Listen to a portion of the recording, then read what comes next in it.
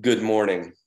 Welcome to morning prayer at Good Shepherd Episcopal Church, Tequesta, Florida, on this Thursday, the 1st of December, 2022. And yes, it is already December. My name is Ian Anderson, and I am a member of the Good Shepherd Daily Office team, the ministry that brings you morning and evening prayer. This service is streamed live on weekday mornings at 9 a.m., exclusively on Zoom. To participate in the live service, and to access the service leaflet for today's service, just visit Good Shepherd's website, goodsheponline.org.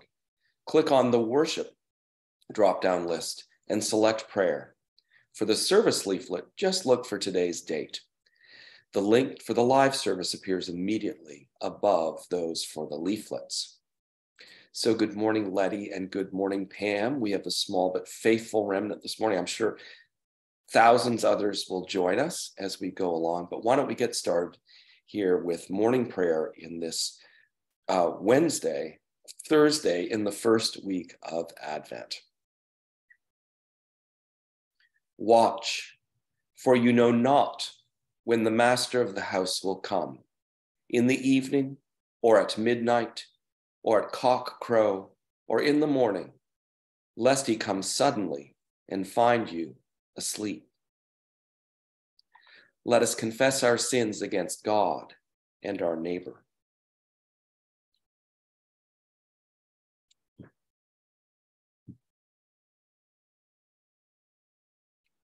Most merciful God, we confess that we have sinned against you in thought, word, and deed, by what we have done and by what we have left undone. We have not loved you with our whole heart we have not loved our neighbors as ourselves. We are truly sorry and we humbly repent. For the sake of your Son, Jesus Christ, have mercy on us and forgive us, that we may delight in your will and walk in your ways to the glory of your name. Amen. Almighty God, have mercy on us. Forgive us all our sins through our Lord Jesus Christ. Strengthen us in all goodness and by the power of the Holy Spirit, keep us in eternal life. Amen. Lord, open our lips, and our mouth shall proclaim your praise. Glory to the Father, and to the Son, and to the Holy Spirit, as it was in the beginning, is now, and will be forever. Amen. Alleluia. Our King and Savior now draws near. Come, let us adore him. Good morning, Joan, and good morning, Wendy. Thank you for joining us this morning. Our invitatory psalm this morning is Psalm 100, Jubilate Deo. We shall say the Jubilate together in unison. Be joyful in the Lord, all you lands. Serve the Lord with gladness and come before his presence with a song. Know this the Lord himself is God. He himself has made us, and we are his. We are his people and the sheep of his pasture. Enter his gates with thanksgiving. Go into his courts with praise. Give thanks to him and call upon his name. For the Lord is good, his mercy is everlasting, and his faithfulness endures from age to age. Our King and Savior now draws near. Come, let us adore him. The psalm appointed for this morning is a portion of Psalm 18, verses 1 through 20, which we shall say together in unison. I love you, O Lord, my strength, O Lord, my stronghold, my crag, and my haven, my God, my rock in whom I put my trust, my shield, the horn of my salvation, and my refuge. You are worthy of praise. I will call upon the Lord, and so shall I be saved from my enemies. The breakers of death rolled over me, and the torrents of oblivion made me afraid. The cords of hell entangled me, and the snares of death were set for me. I called upon the Lord in my distress and cried out to my God for help. He heard my voice from his heavenly dwelling, my cry of anguish came to his ears. The earth reeled and rocked. The roots of the mountains shook. They reeled because of his anger. Smoke rose from his nostrils, and a consuming fire out of his mouth. Hot burning coals blazed forth from him. He, he parted the heavens and came down, with a storm cloud under his feet. He mounted on cherubim and flew. He swooped on the wings of the wind. He wrapped darkness about him. He made dark waters and thick clouds his pavilion.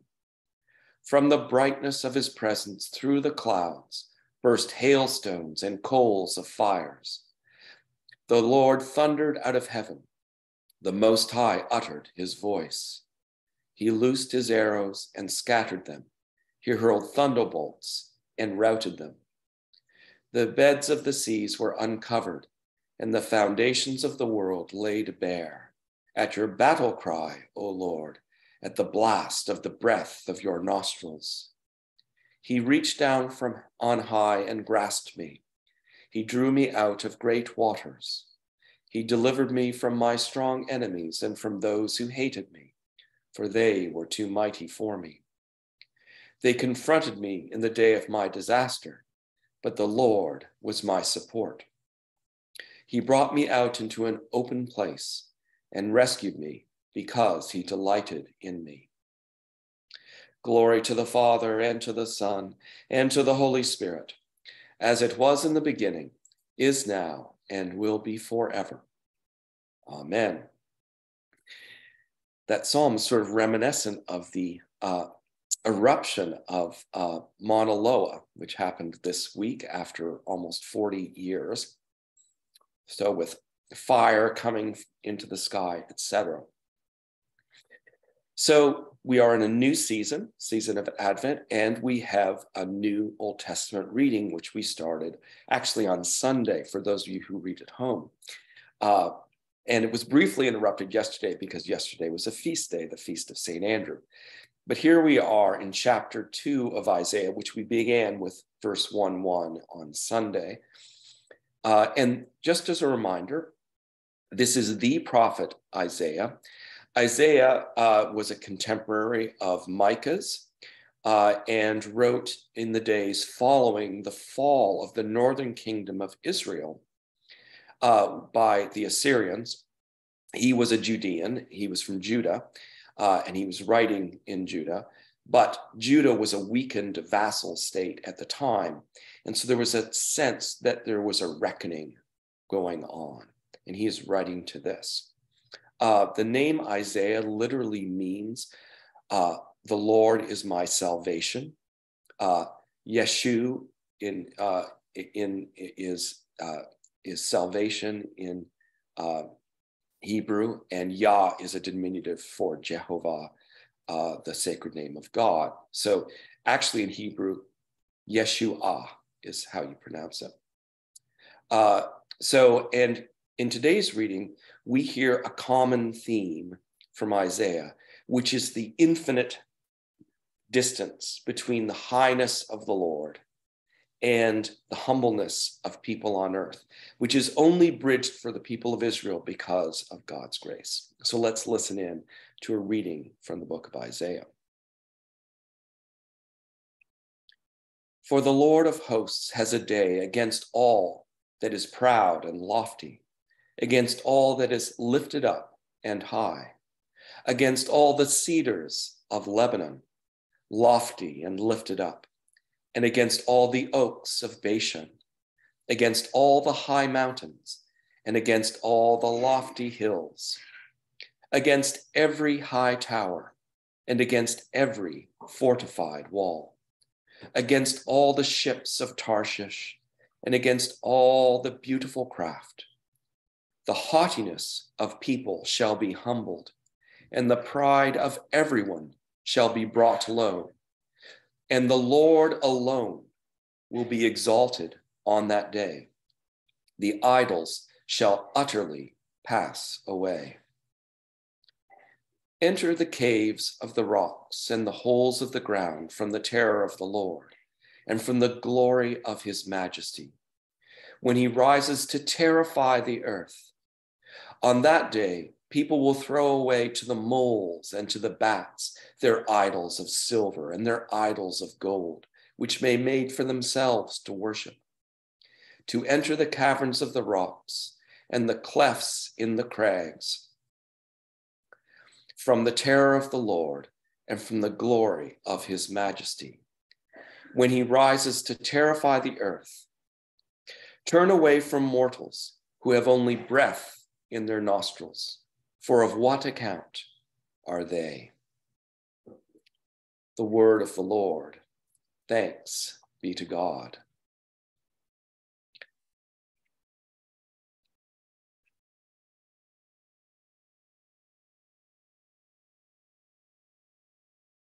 Our response to our Old Testament reading this morning is uh, the Song of Moses, Cantemus Deo, which we shall say together in unison. I will sing to the Lord, for he is lofty and uplifted. The horse and its rider has he hurled into the sea. The Lord is my strength and my refuge. The Lord has become my Savior. This is my God, and I will praise him, the God of my people, and I will exalt him. The Lord is a mighty warrior. Yahweh is his name. The chariots of Pharaoh and his army has he hurled into the sea. The finest of those who bear armor have been drowned in the Red Sea. The fathomless deep has overwhelmed them. They sank into the depths like a stone. Your right hand, O Lord, is glorious in might. Your right hand, O Lord, has overthrown the enemy. Who can be compared with you, O Lord, among the gods? Who is like you, glorious in holiness, awesome in renown, and worker of wonders? You stretched forth your right hand, the earth swallowed them up. With your constant love, you led the people you redeemed. With your might, you brought them in safety to your holy dwelling. You will bring them in and plant them on the mount of your possession, the resting place you have made for yourself, O Lord, the sanctuary, O Lord, that your hand has established. The Lord shall reign forever and forever. Glory to the Father, and to the Son, and to the Holy Spirit, as it was in the beginning, is now, and will be forever. Amen. Thank you, Kathy. I am feeling much better today. Not well, but better. So, welcome, Kathy, and welcome, Sherry. So glad you could join us this morning. So, in our New Testament reading, we are in that portion of the gospel according to Luke between, that falls between Jesus' triumphant entry into Jerusalem on Palm Sunday and the Last Supper. Uh, and so we are in Holy Week. Okay. And uh, in this time, Jesus is in the temple teaching, and he is being tested by various factions. Uh, on uh, Monday, he was tested by the chief priests and the scribes and the elders. And today we hear he is tested by the Sadducees. So, a reading from the Gospel according to Luke. Some Sadducees who say there is no resurrection came to Jesus and asked him a question Teacher, Moses wrote for us that if a man's brother dies, leaving a wife but no children, the man shall marry the widow and raise up children for his brother. Now there were seven brothers. The first married and died childless. Then the second and the third married her. And so, in the same way, all seven died childless. Finally, the woman also died. In the resurrection, therefore, whose wife will the woman be? For the seven had married her.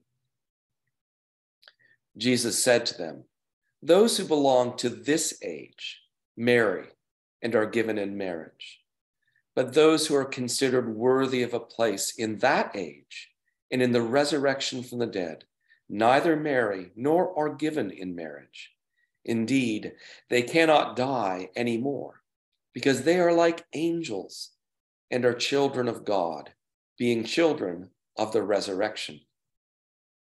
And the fact that the dead are raised, Moses himself showed in the story about the bush, where he speaks of the Lord as the God of Abraham, the God of Isaac, and the God of Jacob. Now he is God not of the dead, but of the living, for to him all of them are alive. Then some of the scribes answered, Teacher, you have spoken well. For they no longer dared to ask him another question. The word of the Lord. Thanks be to God.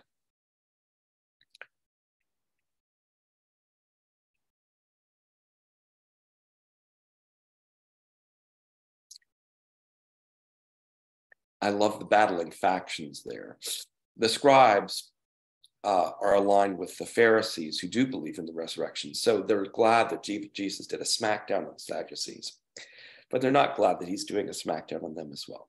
So I don't think there's a Hebrew for smackdown. So, okay. Our response to our New Testament reading is the Gloria in Excelsis, glory to God, which we shall say together in unison. Glory to God in the highest, and peace to his people on earth. Lord God, heavenly King, Almighty God and Father, we worship you, we give you thanks, we praise you for your glory. Lord Jesus Christ, only Son of the Father, Lord God, Lamb of God, you take away the sin of the world. Have mercy on us. You are seated at the right hand of the Father receive our prayer. For you alone are the Holy One. You alone are the Lord. You alone are the Most High, Jesus Christ, with the Holy Spirit, in the glory of God the Father. Amen. And now let us confess our Christian faith in the words of the Apostles' Creed. I believe in God, the Father Almighty, creator of heaven and earth. I believe in Jesus Christ, his only Son, our Lord. He was conceived by the power of the Holy Spirit and born of the Virgin Mary. He suffered under Pontius Pilate, was crucified, died, and was buried. He descended to the dead. On the third day, he rose again. He ascended into heaven and is seated at the right hand of the Father. He will come again to judge the living and the dead. I believe in the Holy Spirit, the Holy Catholic Church, the communion of saints, the forgiveness of sins, the resurrection of the body, and the life everlasting. Amen. The Lord be with you and also with you. Let us pray. Our Father, who art in heaven, hallowed be thy name. Thy kingdom come, thy will be done on earth as it is in heaven. Give us this day our daily bread, and forgive us our trespasses, as we forgive those who trespass against us. And lead us not into temptation, but deliver us from evil.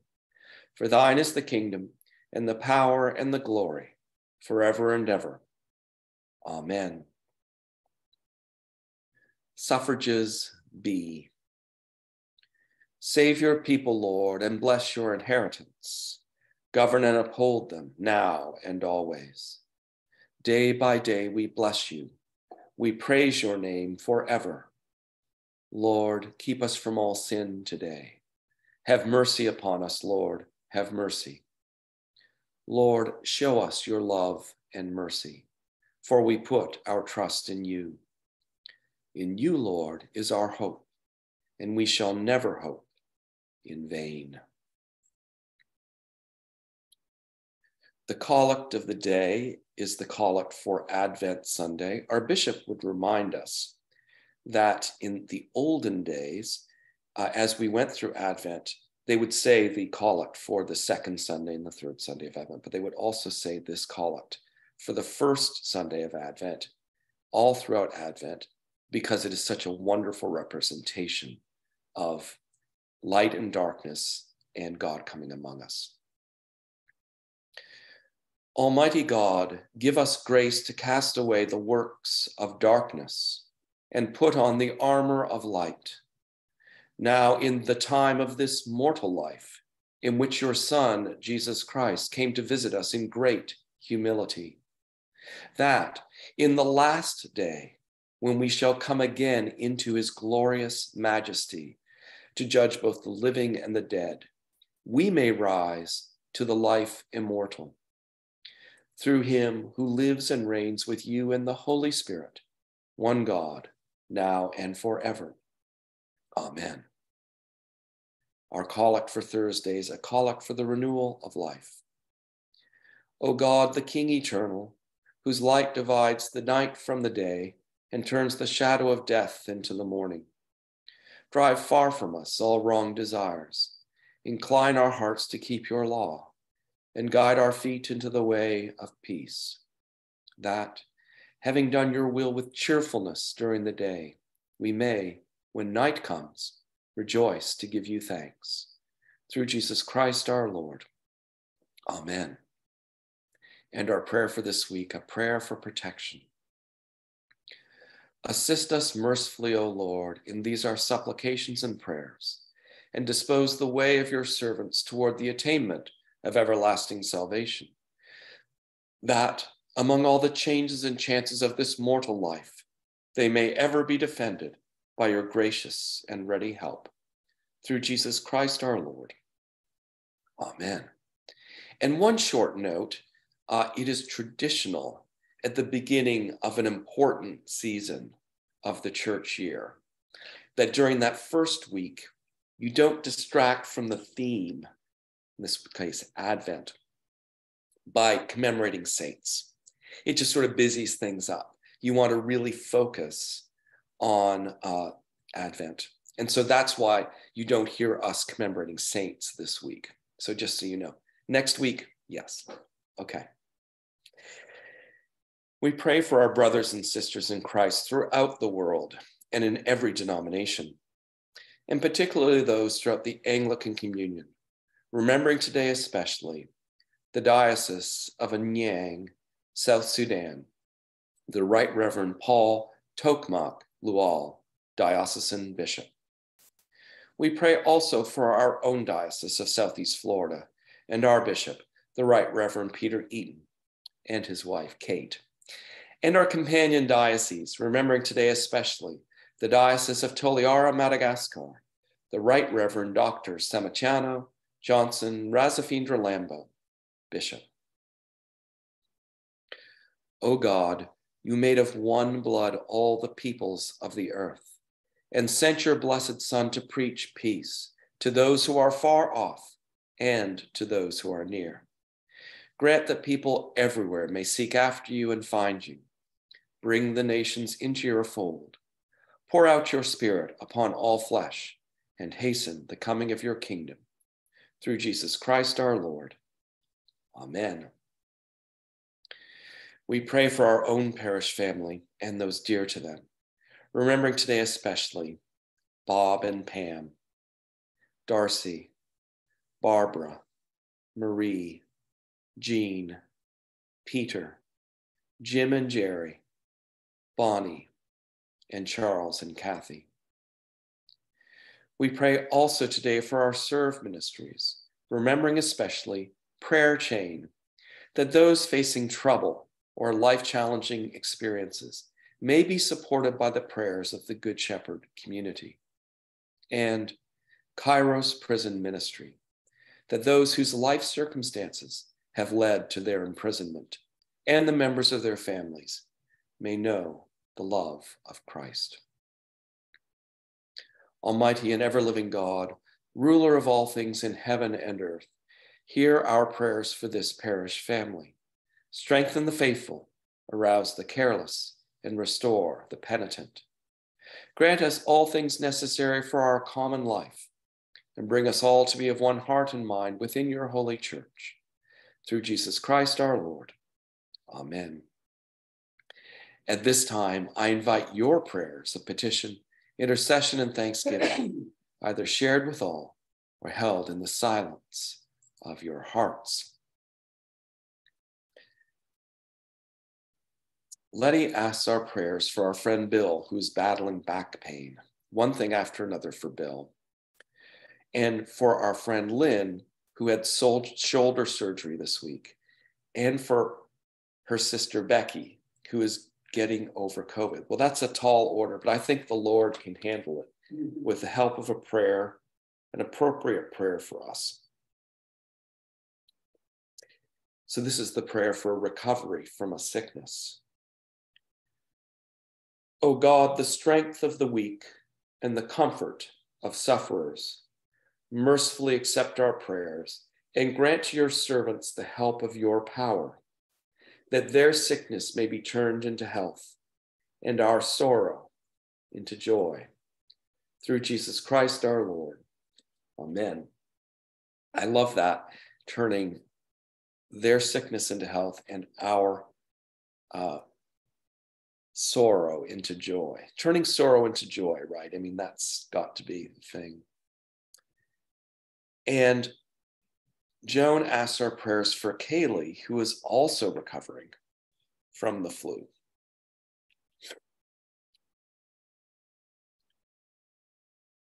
Strengthen your servant Kailei, O Lord, to do what she has to do and to bear what she has to bear, that accepting your healing gifts, she may be restored to usefulness in your world with a thankful heart through Jesus Christ our Lord. Amen. And to all of our sick friends, Heavenly Father, giver of life and health, comfort and relieve your sick servants, and give your power of healing to those who minister to their needs, that they may be strengthened in their weakness and have confidence in your loving care. Through Jesus Christ our Lord. Amen. And I certainly give thanks for a slow but steady recovery for both Letty and me. You might have heard earlier, Letty had a coughing fit and had to leave the room during uh, morning prayer. We're both just sort of trying to improve incrementally. And hopefully, by the time we return to South Florida on Monday, we will be fully cured of our ailments. So, um, what else shall we pray for this morning? Um, I would like to pray and give thanks for last night's, and maybe one of you can tell me of this after our service is done, um, our Charles Dickens special Advent gathering, where apparently about two dozen people got together and read uh, Charles Dickens' A Christmas Carol in parts. This is a tradition that comes from my background, and I really look forward to being a part of the next one on Wednesday. But why don't we uh, say a prayer for family and personal life, including our church family and this, our morning prayer gathering family. Almighty God, our Heavenly Father, you set the solitary in families. We commend to your continual care the homes in which your people dwell. Put far from them, we pray, every root of bitterness, the desire of vain glory, and the pride of life. Fill them with faith, virtue, knowledge, temperance, patience, godliness. Knit together in constant affection those who in holy wedlock have been made one flesh. Turn the hearts of the parents to the children, and the hearts of the children to the parents, and so enkindle fervent charity among us all, that we may evermore be kindly affectioned one to another through Jesus Christ our Lord. Amen.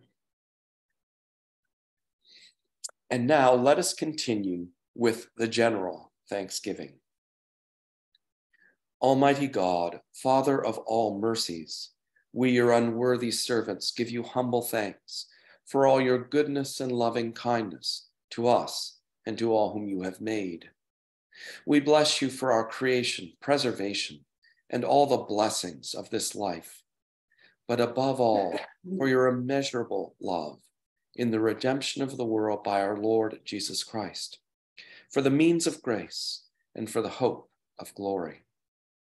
And we pray, give us such an awareness of your mercies that with truly thankful hearts we may show forth your praise, not only with our lips, but in our lives, by giving up ourselves to your service and by walking before you in holiness and righteousness all our days. Through Jesus Christ our Lord, to whom with you and the Holy Spirit be honor and glory throughout all ages. Amen. Let us bless the Lord. Thanks be to God. Glory to God, whose power working in us can do infinitely more than we can ask or imagine. Glory to God from generation to generation in the church and in Christ Jesus forever and ever. Amen. Thank you so much for joining me this morning. I'm a little huskier this morning than usual, but much better than yesterday, as Kathy pointed out. Um, have a blessed day. Uh, if you are ailing, I hope you feel better. If you are welling, I hope that you well over with joy. And as you go through life today and you greet your neighbor, be kind to him or her. One never knows what another is going through in this life.